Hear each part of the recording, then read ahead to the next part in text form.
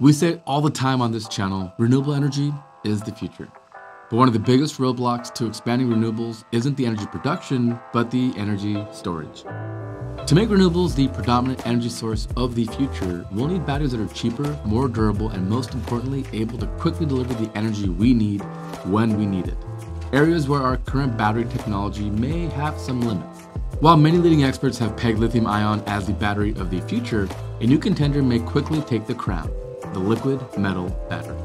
So, how exactly can this emerging battery technology make renewables more viable? We thought that deserved a deeper dive here on 2-Bit Da Vinci. Special shout out to Omaze for sponsoring this video. Enter for your chance to win an electric converted 1968 Porsche 912 and help an amazing cause using our link in the description.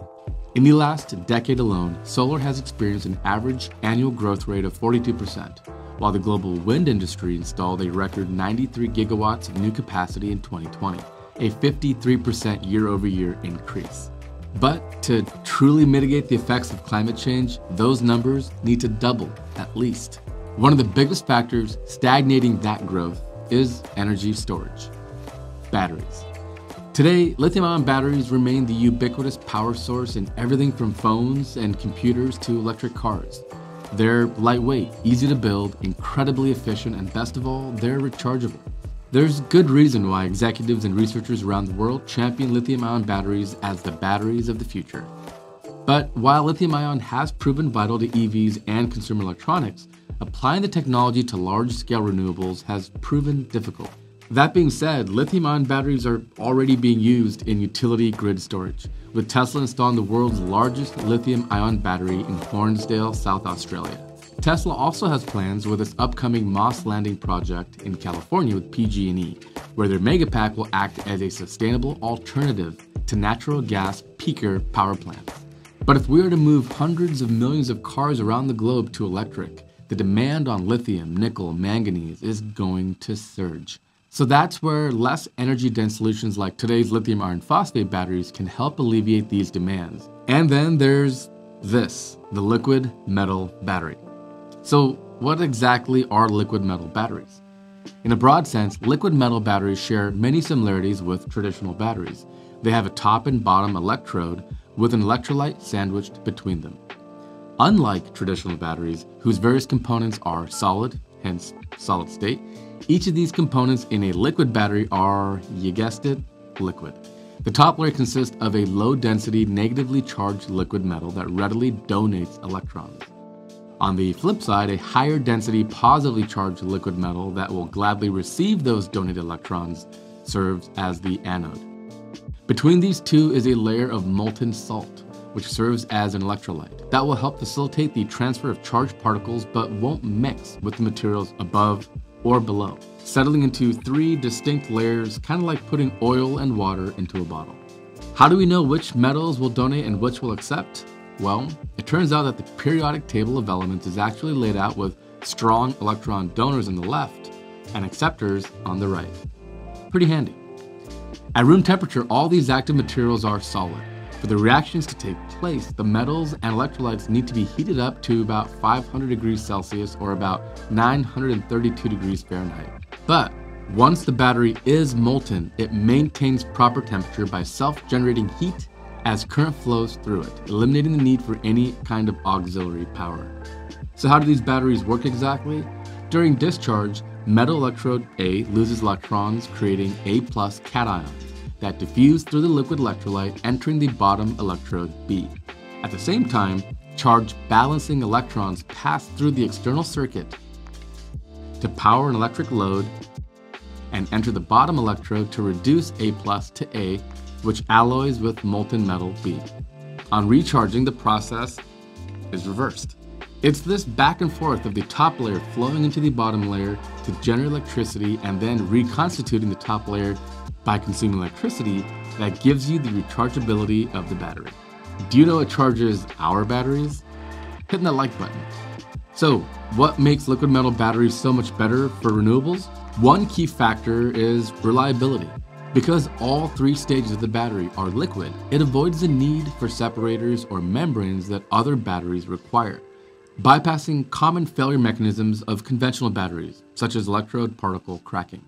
The electrolyte is also more thermodynamically stable with the electrodes, avoiding unwanted side reactions such as film formation that can degrade the performance of other cell chemistries. This built in resilience could mean battery lifespans measured in decades, not just years, a major win over the other battery technologies.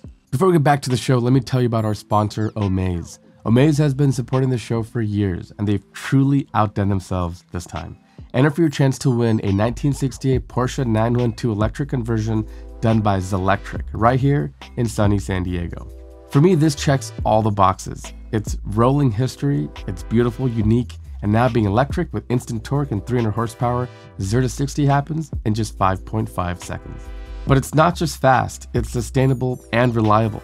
The win win proposition doesn't just end there because by entering, you'll also be supporting the world famous Peterson Automotive Museum. Your generosity can help the museum further their educational outreach, help inspire the next generation in underserved communities, and further their community events and preservation activities. So, to potentially win your very own electric Porsche 912 and help preserve automotive history through the Peterson Museum, enter at www.omaze.com slash 2bitdavinci.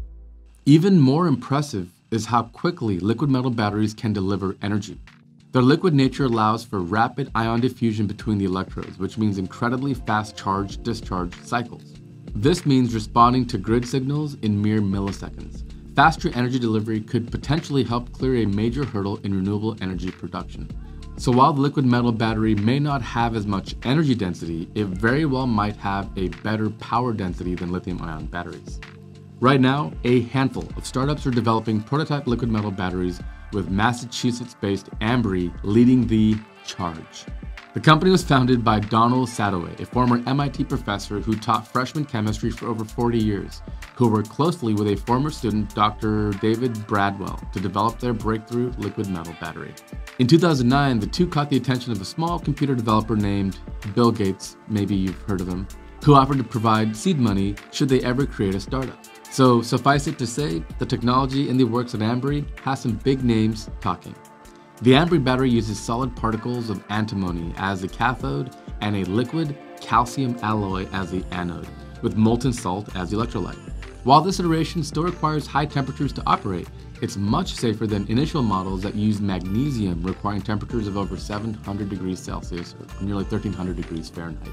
The prototypes on Ambri are already proving to be worth their weight in molten salt, with energy capacities ranging between 400 and 1,000 kilowatt hours, with charge speeds of up to 250 kilowatts. Under a wide range of use cases, their efficiency exceeds 80%. Ambri batteries are also designed with scalability in mind. The modular design makes it easy to increase size and power by simply adding more units one on top of the other. Ambri also estimates that their batteries will cost a fraction of the current competition. The widely available materials cost about a third of the prices of lithium ion cells, while their manufacturing costs also range from a third to a half the cost per megawatt hour of lithium ion production. But these batteries won't just save money up front. In laboratory tests on over 2,000 cells with a total testing period of over 600,000 hours and over 100,000 battery cycles, the all liquid cell showed no signs of many of the common mechanical failures that solid components in other batteries face. As this company and others like it continue to grow, we may soon see cheaper, longer lasting, more energy dense liquid metal batteries storing power from wind and solar in the near future. It's difficult to say what the future of battery technology will look like, and there definitely isn't a one size fits all solution. But as researchers and investors start exploring different options, the potential for solving issues like intermittency and imbalances in electrical grids grow exponentially. We're going to need much more green energy moving forward if we really want to start mitigating the effects of climate change. So, emerging companies like Ambri deserve our attention. But what do you think? Are liquid metal batteries the way forward for renewable energy? Let us know in the comment section. So, that is a look at the liquid metal battery. What's really cool is battery packs like this, massive battery packs like this, can really offset the need for companies to build peaker power plants. So we mentioned the Hornsdale plant in South Australia. That plant is able, when there's a demand on the grid, power homes via renewable energy stored in batteries instead of the need to kick on peaker power plants. And one of the great challenges of renewable energy is the intermittency of it. You can't have the sunshine all day, and you can't really always predict when the wind will blow. So, the need for large scale energy storage is the number one challenge facing us as a species. I love the idea of investing and researching in all sorts of different applications and different approaches to solving the problem. I've recently did a video on aluminum air batteries. We've talked about lithium ion batteries extensively, and the liquid metal battery is just another way that we could potentially store energy without needing all the same kinds of elements. Our Earth and our crust only have so much antimony and only so much lithium and cobalt and other various elements. And so, we're going to have hundreds of millions of electric vehicles in the future, those need the highest energy density batteries available. But homes and power plants, those can be lower energy density. So, the liquid metal battery, much like the lithium iron phosphate battery, may not have as high energy density, but they have really long life cycles. A lithium iron phosphate battery, for example, is way easier to source because iron is really common in our core, and they can easily last four and 5,000 charge cycles. So my 300 mile range EV might only get charged every three or four days, which means a thousand charge cycles or so will last hundreds of thousands of miles in very many years. But a home battery or a grid store battery will be charging and discharging every single day. And that's what makes liquid metal batteries so exciting. Very cheap to source, to manufacture, and they last a really long time measured in decades. All right, so that pretty much does it for us here. Thank you so much for watching, and a huge thank you to all of our tribe members, our Patreon supporters on Patreon, and our YouTube channel members. You guys make this show possible, and if you want to be a rockstar supporter of this show and be involved in future topic selection and research, and join our community on Discord, find our links in the description and either join us on Patreon or as a YouTube channel member.